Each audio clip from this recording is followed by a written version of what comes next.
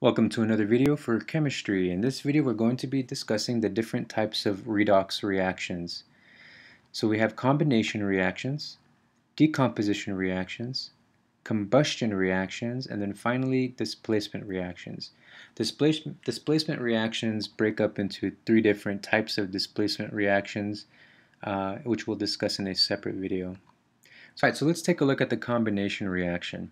Combination reaction is a reaction in which two or more substances combine to form a single product. Okay, so here I have an example of such a reaction. You'll notice on my reactant side I have sulfur and I have oxygen. So here are my two, my two elements that are going to eventually combine. So what will happen is, is that sulfur and oxygen will come together, a reaction will occur, and I produce a brand new compound, sulfur dioxide. Okay, so here's my general uh, chemical equation for that, sulfur plus oxygen. Oxygen is always found as O2, it's a diatomic molecule, of course unless it's um, ozone, which is O3, but by and large, oxygen is ne usually never found by itself. Um, that, would, that would be called a free radical. So oxygen is always uh, for our purpose, you'll find it as O2. Okay, so here's my general equation for this type of reaction. You have element A combining with a separate element B. It will combine to form a brand new element AB. Okay, so this is a combination reaction. You have two separate elements combining. Something else to keep in mind is that this is a redox reaction, which means one of these elements will be reduced and the other element will be oxidized. And in this case, you have oxygen, which is the more electronegative element that will be reduced. It will be gaining the electrons. Try to imagine as sulfur and oxygen being two different people. Sulfur being, uh, let's say, the average, your average human being, and then oxygen being a bodybuilder. The bonds that they make, which are made via the valence electrons of each element, are like a handshake. So as the bodybuilder and the average person shake hands, let's say both of them decided to pull, well, the bodybuilder who is stronger will pull the average man closer to him. So likewise, oxygen, which is more electronegative, will have a stronger pull of those valence electrons. So those electrons, even though they're being shared, will be shared unevenly, and the oxygen or the electrons will spend most of their time with the oxygen, increasing the radii size. So that, that, that, valence shell those added electrons will increase the size of the radius um, of the oxygen. And you'll notice that with the sulfur, because they're losing electrons, uh, that radii will decrease. Okay, so sulfur is oxidized, it loses electrons, while oxygen is reduced, it gains electrons. Let's take a look at another example here. And take a look at the bottom where I have my word, my word square. Uh, here's a general equation once again. I have a single element combining with another single element to make a brand new compound. Okay, And in this case, the, my single element will be aluminum, and over here will be bromide. Okay, and you'll see that there's a reaction that will occur. Alright, so aluminum and bromide will combine to make aluminum bromide, a brand new compound. Okay. In this case, the uh, accurate ratios will be two for every two aluminums, um, I will need six bromides, okay? Because the compound will be aluminum with three bromides combined together at its uh, on its surrounding. Okay, so aluminum and bromide will come together, a reaction will occur, and we will have aluminum bromide. So there's my brand new my brand new compound. So let me go back. So again, single single elements, single um, entities, aluminum and then bromide, and then my combination reaction to make aluminum bromide. Now they're both bounded together. Now they're sharing electrons. And bromide, which is more electronegative, will unevenly share these electrons. Um, it will have them more, so it'll increase its radii size, whereas aluminum radii will uh, decrease. Okay, so bromide is reduced while aluminum is oxidized. All right. Okay, so let's take a look now at decomposition reactions. This is a breakdown of a compound into two or more components. If we compare it to our previous reaction, a combination reaction, you'll notice that on the reactant side we start off with two separate elements. And then we have a reaction that occurs, and then those two separate elements combine to form a brand new compound. Well, in a decomposition reaction, it's the opposite. This time we start off with a compound. A reaction occurs, and then that compound separates into its constituent elements. Okay, let's take a look at an example of a reaction uh, where this takes place. Here you have mercury oxide. Mercury Hg combined with an oxygen atom. So we add energy to, these, to this combination, and we add so much energy to this combination that, uh, that they actually begin to separate. Okay, so now they're separating, they're decomposing into their constituent parts, right? And now oxygen will combine with another oxygen because as, as you recall, oxygen uh, does not like to be by itself. It's a free radical. It likes to combine with other things to stabilize itself. And if nothing else is around, it'll just find another oxygen molecule and you end up with a diatomic molecule, um, oxygen, O2. So O2 and hydrogen, and um, sorry, mercury are your final products. So again, on your reactant side, oxygen and mercury will combine, and then on the product side, oxygen and mercury are separated. Okay, so you'll see now a video here of this reaction actually taking place where you have mercury oxide energy being added to it, and then a breakdown of mercury and oxygen.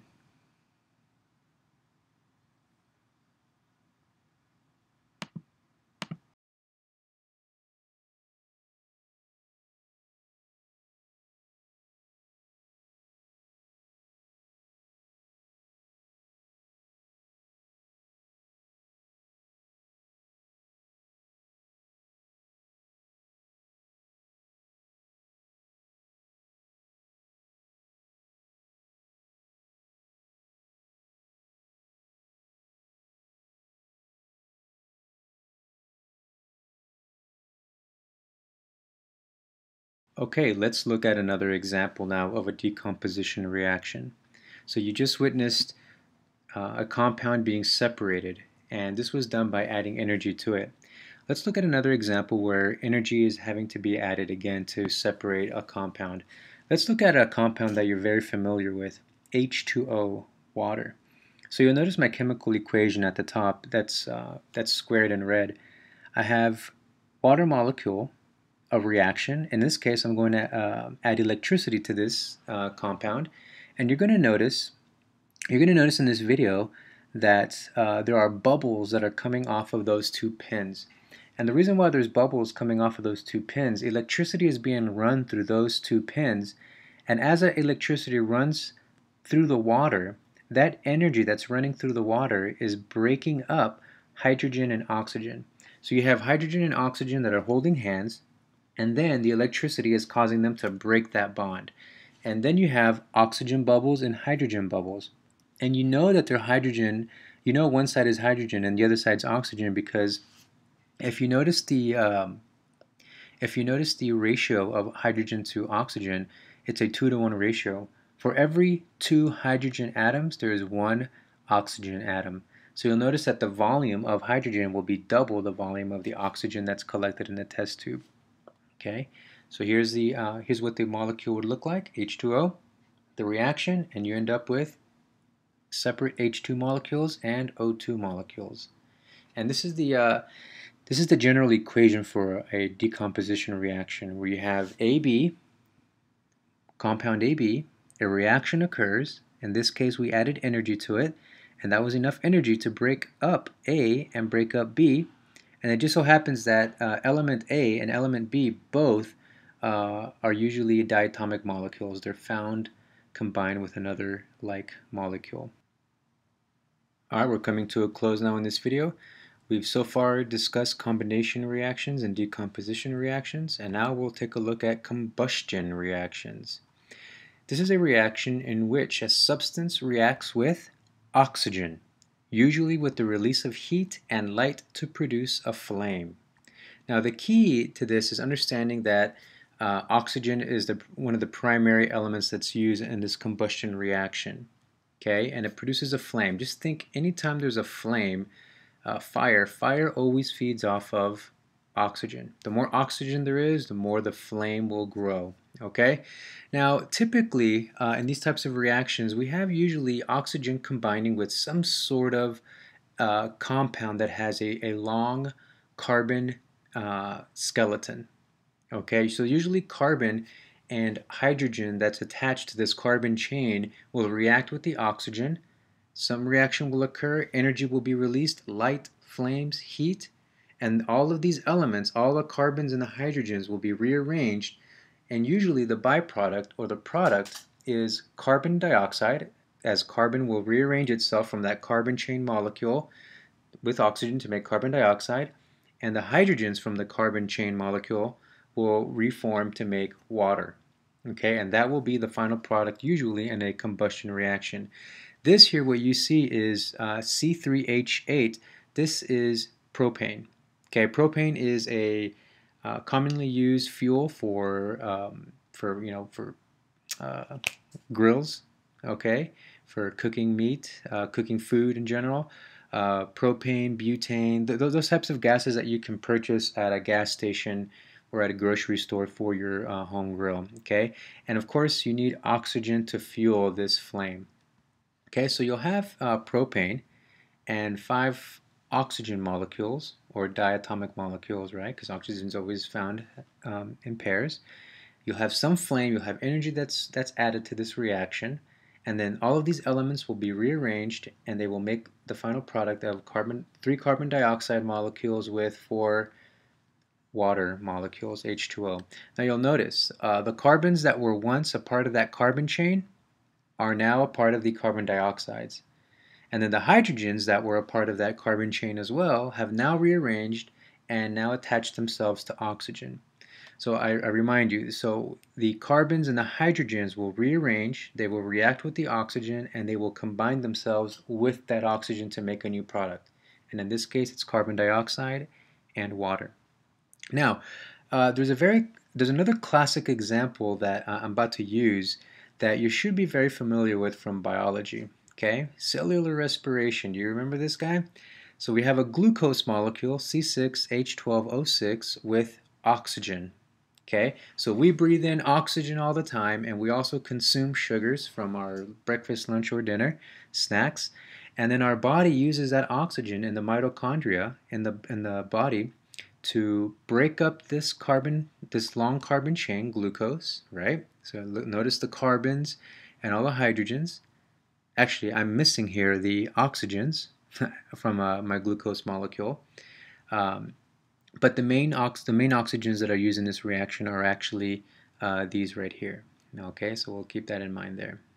All right, so our glucose molecule will be broken up through a, a, a process, glycolysis, right? And then goes into pyruvate and then your Krebs cycle to make ATP eventually. So this glucose molecule will be broken up in the face of oxygen. Okay, so you have oxygen, and the energy that's used to break this up is found in the found in the uh, your metabolism, your glycolysis and Krebs cycle, all those enzymes that are part of the process. Now, of course, you don't have a major explosion like you do when you you know light up a grill. In fact, these the energy that's released in this process and your metabolism is a very controlled process. It's like a tiny billion little uh, explosions in your body that are occurring every time your body breaks down oxygen.